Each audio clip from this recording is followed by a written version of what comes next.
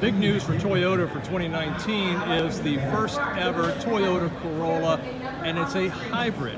They've never put the hybrid powertrain in the Corolla, so that's brand new this year. Now the MSRP starting on this vehicle is $22,950 up to $23,950. There are three trim levels. There's a 1.8 liter, 139 horsepower, 126 uh, pound-foot torque uh, engine available, or a 2 liter four-cylinder engine with 160 horsepower and 151 uh, pound-foot torque, front-wheel drive CVT or 6-speed manual transmission. Fuel mileage up to 53 city, 52 highway, and 52 combined on this particular hybrid model.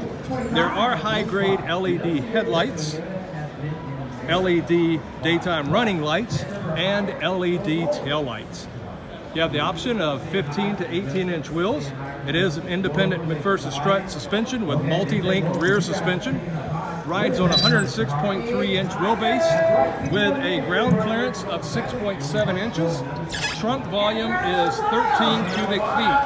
So I like the way they've really um, modernized the front end makes it look more like the hatchback, more sporty. New face of Toyota with the big grille on the front. You can see the LED headlights.